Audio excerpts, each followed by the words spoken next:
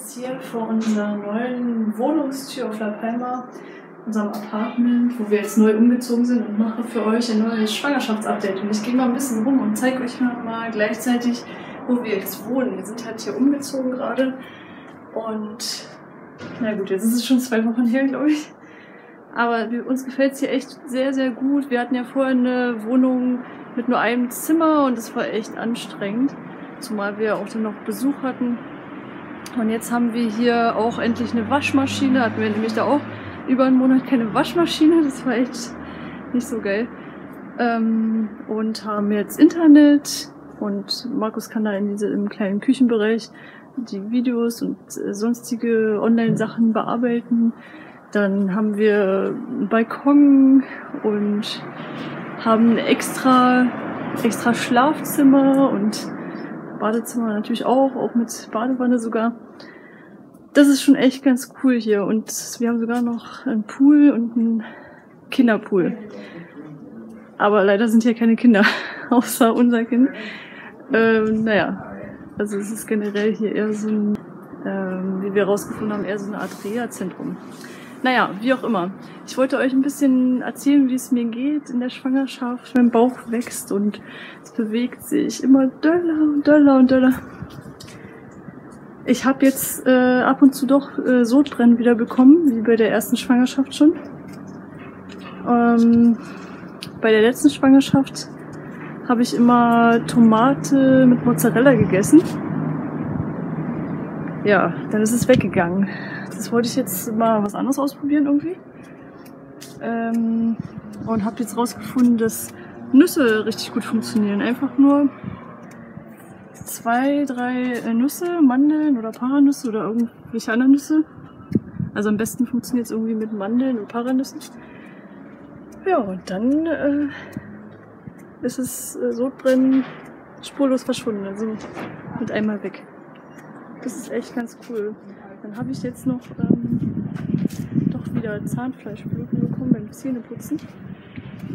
Aber ja, das, äh, damit kann ich leben. Das ist jetzt nicht so schlimm. Und mein Zahnarzt von damals hat auch immer gesagt, bei äh, Schwangerschaft haben alle immer, immer Zahnfleischbluten. Das ist ganz normal. Ja, jetzt sitze ich hier gerade bei den Pools hier. Man sieht das so ein bisschen. Die Sonne blendet nämlich ein wenig.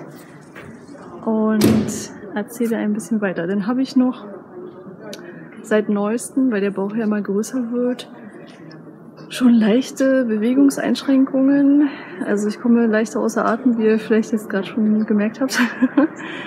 ähm, aber auch wenn ich jetzt im Bett liege, mich von einer Seite zur anderen drehen möchte, fällt mir das echt ein bisschen schwerer schon und ich muss bestimmte Techniken anwenden, dass ich mich auf die andere Seite rolle, sozusagen.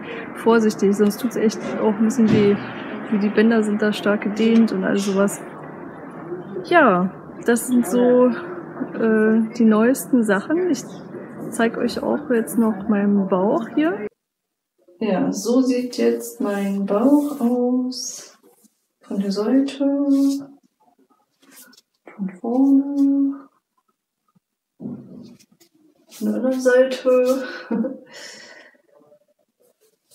ja, es ist schon ein bisschen mehr geworden, aber auch nicht so viel mehr. Und ich versuche jetzt nochmal selber den Fundostand abzutasten. Also, vielleicht von vorne. Also ich würde sagen, das ist immer noch oder so leicht. Hier ist mein Bauchnabel. Sieht man vielleicht ein bisschen um den Bauchnabel herum ist. Also so vielleicht ein bisschen drüber schon. Genau. Also das heißt, bis hier geht der obere Rand der Gebärmutter. Und in dem ganzen Bereich fühle ich jetzt, also hier auch bis zur Seite, auf der anderen Seite und auch im unteren Bereich noch sehr viel, fühle ich das Baby schon total doll. Also vielleicht kriege ich jetzt auch mal noch eine Aufnahme hin, wie es sich gerade bewegt. Okay, ich habe gerade mitgekriegt, dass man in der anderen Perspektive das leider nicht sehen kann, aber das ist jetzt mein, mein Bauch von meiner Perspektive. Oh, jetzt habt ihr das gesehen gerade? Da hat es gerade richtig gezuckt, so. Richtig toll. Hallo Baby, wie geht's dir? Draußen hört man Marvin und Markus. Das sind jetzt meine normalen Atembewegungen, ne? nicht äh, zu verwechseln mit den Babybewegungen. Jetzt. Das war auch krasse Bewegung gerade. Boah, nochmal. Oh, schon wieder.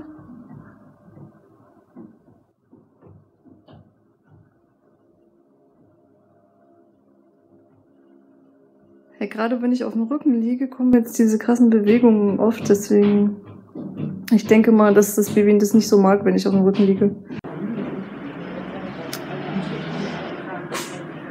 Ja.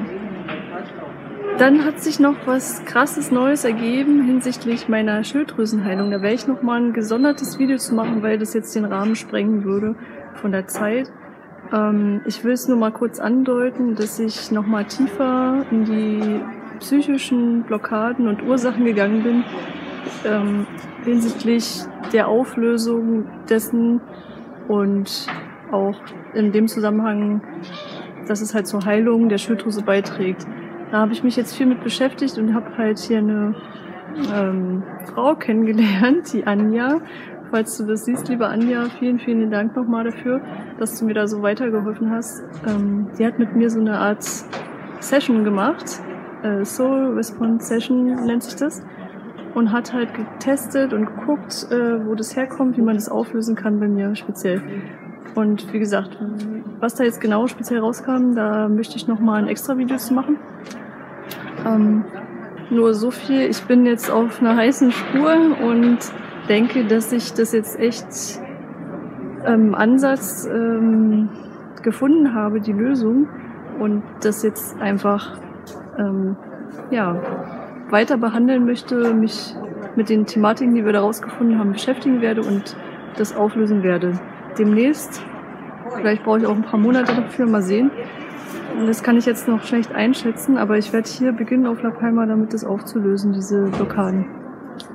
Und war total spannend. Also meine Globuli ähm, nehme ich übrigens noch weiter. Und da hat sich nichts verändert. Ich werde jetzt aber hier nicht nochmal zum Arzt gehen und einen Bluttest machen. Da wir so lange jetzt auch wieder nicht mehr hier sind und ich mich insgesamt sehr gut fühle damit, mit der Dosierung und ich werde jetzt einen Termin machen für April. Wir kommen nämlich am 31. März zurück nach Deutschland, nach Berlin erstmal. Und dann werde ich einen Termin machen bei einem Arzt oder einer Ärztin. Mal gucken, zu welchem ich nochmal da hingehe, zu welcher Praxis. Und dann teste ich nochmal den TSH-Wert, um das zu kontrollieren. Dann kann ich es ja auch gegebenenfalls nochmal neu einstellen, die Dosierung. Ja, sorry, die Sonne blendet hier ein bisschen, sonst sehe ich überhaupt nichts. Musste ich nur so die Augen zukneifen. Ähm, genau, das habe ich so vor. Und im Moment läuft ja auch gerade aktuell unser Kinderwunschkongress. Vielleicht habt ihr es ja schon mitbekommen. Wir haben ja auf den anderen YouTube-Videos relativ viel Werbung dafür gemacht auch. Und deshalb ist auch im Moment ziemlich Stress hier noch oder viel zu tun einfach. Also wir genießen hier auch die Sonne und sind ganz oft am Strand, aber also Marvin und ich hauptsächlich, Markus ist oft im Zimmer hier bei uns zu Hause und arbeitet. Jetzt ist aber gerade Ende des Kongresses bald. Also heute ist ähm, der 22.02. Und ich bin jetzt übrigens an, in Schwangerschaftswoche 23 plus 6. Das heißt äh, schon relativ weit und ich bin gespannt, was noch alles passiert wird. Mir geht es auf jeden Fall sehr, sehr gut. Und wenn ihr möchtet, könnt ihr gerne bei unserem Webinar und Kongress noch teilnehmen. Da könnt ihr jetzt euch immer noch für anmelden. Am Sonntag findet das Webinar statt. Und wenn ihr jetzt sagt, oh, jetzt habe ich ja schon das meiste verpasst von dem Online-Kongress, die ganzen Expertinnen und Experten, die wir da interviewt haben, dann macht das nichts, denn wenn ihr euch anmeldet für das Webinar, dann bekommt ihr für einen Tag nochmal alle Interviews freigeschaltet, also für 24 Stunden. Das heißt, ihr könnt euch wenigstens die angucken, die ihr unbedingt vielleicht noch sehen wolltet und das nutzen. Also das gilt übrigens nur, wenn ihr wirklich am Webinar euch anmeldet und dann auch teilnehmt. Okay, dann sehen wir uns in den nächsten Videos oder vielleicht auch im Webinar wieder. Macht's gut, das war's, deine Anne.